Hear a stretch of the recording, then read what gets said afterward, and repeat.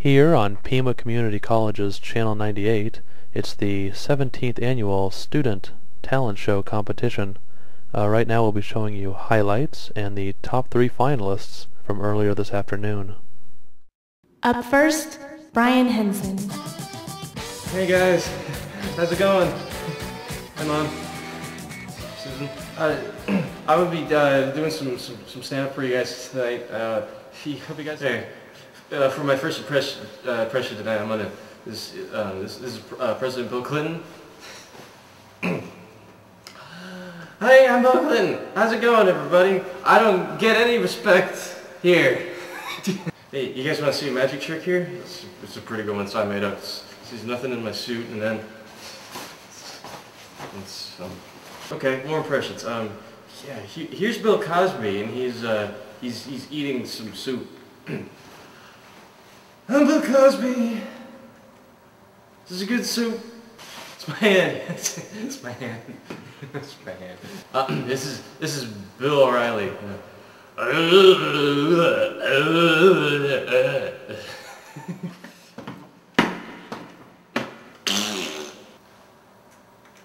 Hold on. One last.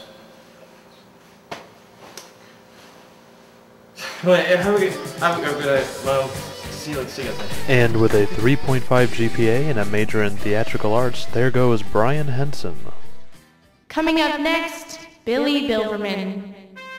Billy is a sophomore here at Pima.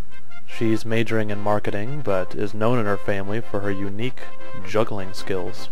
She's about to perform an act for us, so let's see her stuff.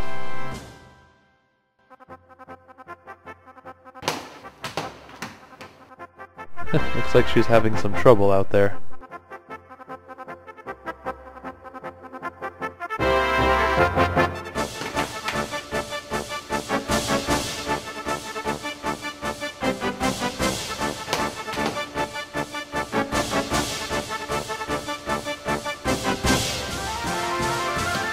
Her boyfriend Thomas out to the side there rooting her on.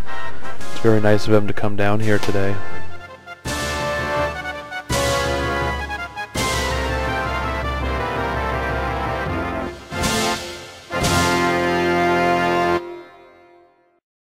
Coming up next, Nick Colalio.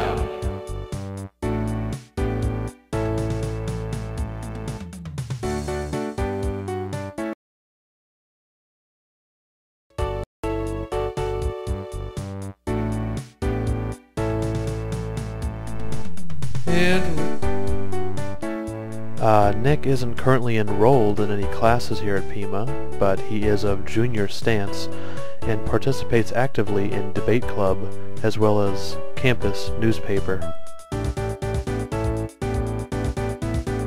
Believe it or not, I'm walking on air. I never thought I could feel so free.